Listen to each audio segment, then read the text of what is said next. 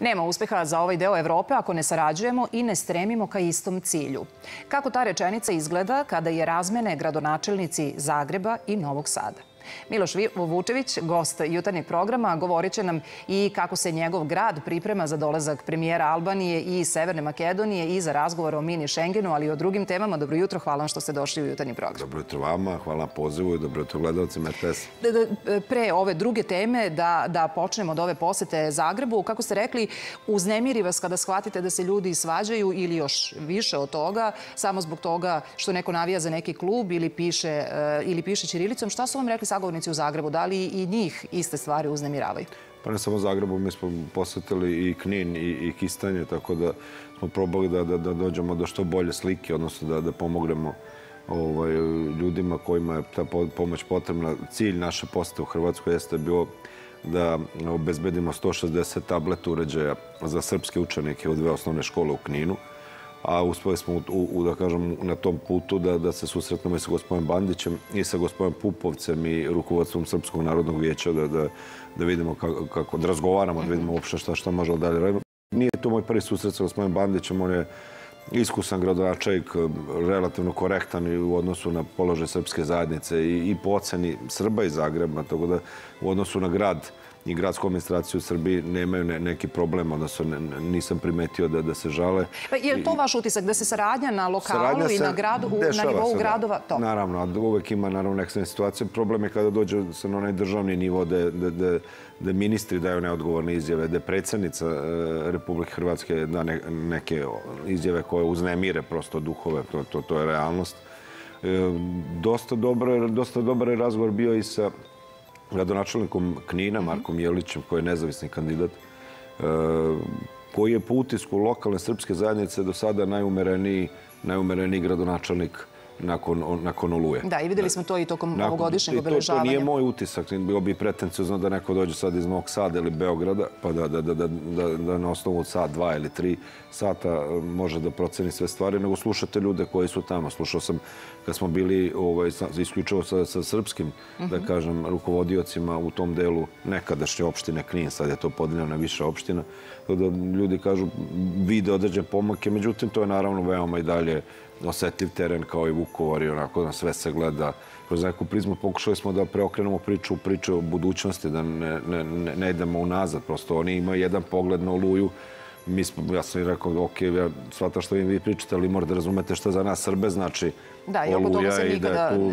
da prosto mora da razumete naš, naš bol.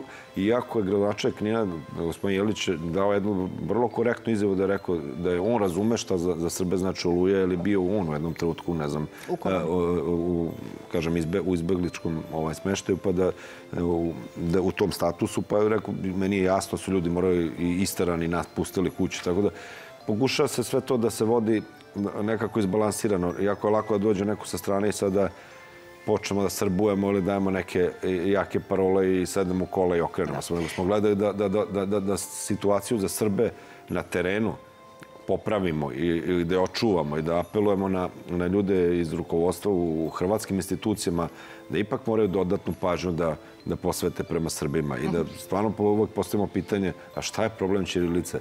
Šta je problem srpskog jezika? Šta je problem Srpske pravoslavne crkve? Evo imate primer Hrvatske zajednice u, u Srbiji, imate, problem, imate primer Hrvatske zajednice u Vojvodini. Evo, nek se samo to komparira, nek se, nek se uzme ono što je predsednik uh, ispunio ovde u, u Srbiji, da vidimo da, šta je predsednica Hrvatske u odnosu na, mislim, to subotički njihov dogovor ili Jeste, kako, da, kako su već definisali, da vidimo ko, ko šta je uradio. Da, poseb, ne, kroz posebnu prizmu se gleda kada ne, se približe ne, izbori i onda to jeste, nije... Mi, smo, mi stalno postajemo objekat, ovaj, e, objekat političkih tema kad su izbori u Hrvatskoj, nažalost. I, i taj mali broj Srba koji je ostao, mm -hmm. zaista to sada, nažalost, mali broj. Plašen se da će 2021. na popisu biti još manji broj u odnosu na 2011.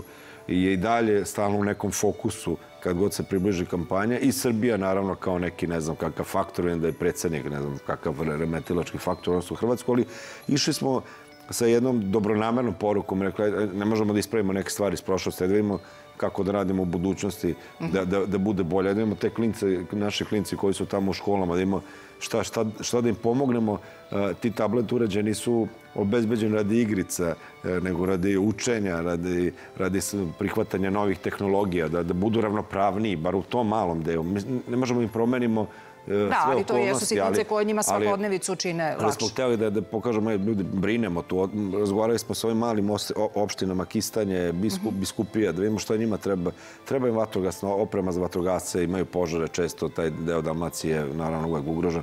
Rekli smo, ok, to ćemo da obezbe pomoći. Znači, ono što mogu i lokalne samouprave, ne mora uvek država da, da da taj napor, nego možemo i mi da pomognemo sa lokalnog nivoja. Nisu to neki veliki veliki napori. Da, ali njima a, a dosta znači. A ljudima da. mnogo znači. Čuvate Srbe tamo da, da, da žive na svojim područjima. Onako ih je zaista malo ostalo. Onako tužna slika putovali smo kroz Liku i Gorski Kotar i Liku i sve prazno je to, nema ljudi. Da. E, da se vratimo na ove ostale teme koje sam također u najavi pomenula, da li se, ne zna se još mnogo detalja, ali da li se dobronamernim porukama nadate i tokom posete e, premijera Albanije i Severne Makedonije, Srbiji, konkretno trebalo bi ti sastanci da se održa u Novom Sadu, a tema je jako značajna olakšice e, kada je reč o, o, o trgovini i transportu u ovom delu regiona. Pa mi kao grad smo spremni da budemo domaćini tako jedne konferencije ili događaje, naravno od, od države, zavisi od predsjednika da će organizovati. Ako to bude u Novom Sadu, pružit ćemo sve one potrebne kapacitete da, da, da sve prođe u najboljem redu. A mislim da gde god bude mesto događaja, da, da je taj susret veoma važan iz prostog razloga što, što je ovo jedan pokušaj i napor da, da, da ekonomski osnažimo ovaj region i da prihvatimo stvari da, da te granice koje imamo, koje su nastajale pre ili kasnije, ne treba da budu smetnje za, za, za biznis, za ekonomiju, za, za, za, za bolju situaciju i stvaranje uslova za, za bolji život svih građana. Znate, nije isto da kada nudite investitoru jedno ekonomsko područje od 7 miliona ili od 20 miliona. Da. To, je prosto, to je prosto realnost. Ja nekad ne razumijem zašto ove neke druge zemlje u regionu su a priori negativne na, na, na, takve, na takve pozive, ali verujem da ako, krenem, ako krenu Srbija, Severna Makedonija, Albanija sa CEFTA++, ili kako god to nazvali, da će to biti dobra, dobra pozivnica i, i za Bosnu i Hercegovinu, e, i za Crnu Goru i e, da se naravno Priština kao sad po tim specijalnim, da kažem, nekim statusom ta teritorije Republike Srbije, da se isto uključe, lakše ćemo dovesti firme, mhm. bit će više biznisa. Ja se nadaju e, tome i novosadski privrednici i oni imaju... Apsolutno, kad pričate sa privrednicima i kad pričate sa potencem novim investitorima, jedno od najvećih problema jeste pitanje granice, zadržavanje robnog transporta i, i sve ono što otežava posao. Ljudi hoće prosto kada ulažu kapital, kada zapošljavaju, kada plaćaju poreze, da, da dobiju ambijent da što lakše trguju. Mm -hmm. Kada vidite kolone na, na srpsko-hrvatskoj ili srpsko-mađarskoj granici, kolone Odmah kamiona. Odmah pretvorite to u gubitke. Naravno, mi smo sad skoro dobili švajcarsku kompaniju Barry Callebaut, najvećeg proizvođača kakao i čokolade. Oni kažu sve odlično, sve prezadovoljni Srbijom. Najveći strah imamo prema odnosu na granice i koliko nam kamioni moraju da čekaju na granice. I mi moramo da, da, da rad, naravno i građani kad putujemo, ja ćemo da ne budu one kolone ni u turističkim sezonama, ni generalno. I dobra ova poruka Srbije Severne Makedonije, da imamo integrisane granične, granične prelaze. To treba da imamo u celom regionu ljudi, pre svega odnosu na Bosnu i Hercegovinu, Crnu Goru, da je god da nema sponi pitanja, da, da je god nemamo, e, odnosno da zemlje koje nisu članice Evropske unije, kad ćemo, ne znamo, borimo se, radimo, neke čak Albanija i Severna Makedonija ček, ček, tek čekaju otvaranje poglavlja. Pa ide dok se sve to radi, dok smo u tim procesima, pa da mi stvorimo ambijent, ambijent koji od nas zavisi, bit ćemo, bit ćemo prihvatljiviji za Evropu.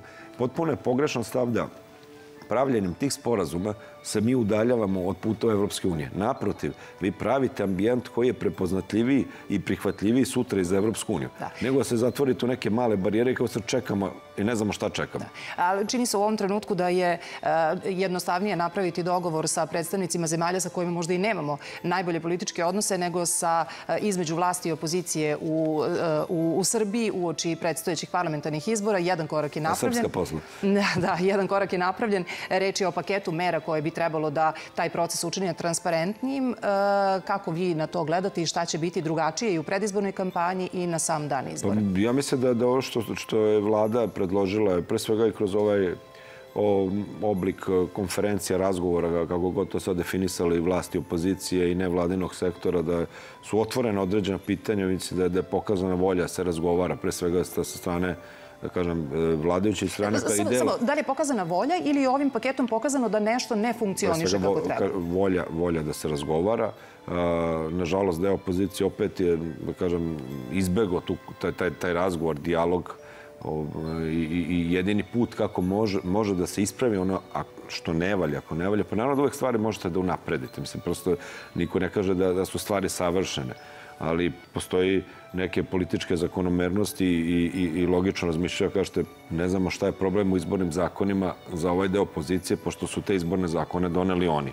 Posto ne, mora neko da kaže da je, da je Vuk Jeremić bio deo vlade koja je predložila izborne zakone kojim danas smete. Da je Boris Tadić kao predsednik Republike Dobro, da ukazao... Znam, da, da, iz kog vremena samo pa, zanima ono što... Svi građani znaju, mislim, nije, nije, nije ova vlada, ni prethodna vlada, nije SNS menjao nijedan, nijedan stav u izbornim zakonima. Ok, ili imate neke druge primedbe? Evo birački spisak da se pregleda. Evo da imamo finansiranje političkih stranaka.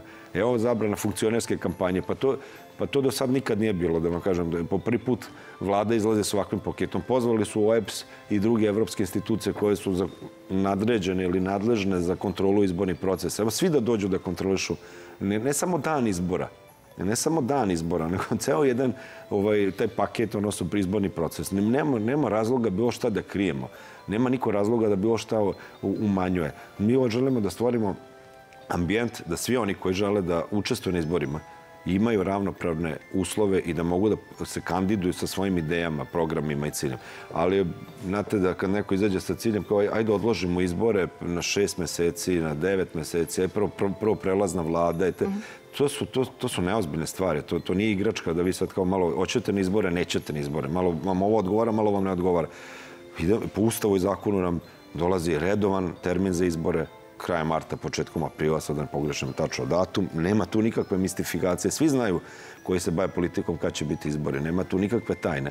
Mislim da, da ovo što je vlada na po, jednoj od poslednjih sednica Jeste, usvojila tačno, mislim da je to stvarno jedan dobar znak da otvorenosti i sadnje i pravljenja što demokratskijeg ambijenta u državi. A da neko odlaže izbore, mislim da je to ponište demokratije, da vi građanima kažete, izvinite, vi nema šta birate. Da. Zato što smo mi zaključili da vi morate da čekate kad se nama svidi da mi idemo na izbore. Mislim, to je, to je neodgovorna politika Saveza za Srbiju.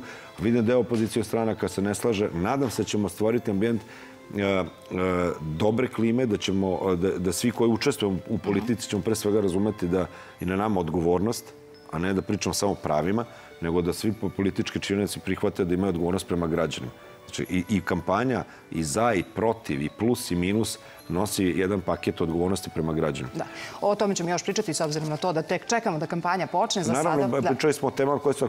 Ja verujem, imamo šest meseci neki do, kampa, do, do, do mhm, izbora. Uh mhm. -huh. Mislim da, da, da, smo, da, da smo krenuli s jednim uh, redefinisanjem nekih stvari koje uh, možda su za neko bile sporne. Da pokažemo da, evo, sve što što vam se čini da, da, da, da, da je problematično. Evo, mi smo spremni da uradimo paket plus Paket plus da bi pokazali ljudi nema razloga da bilo ko osporava izborne procese u Srbiji. Pitajte građane šta misle o svakom od nas.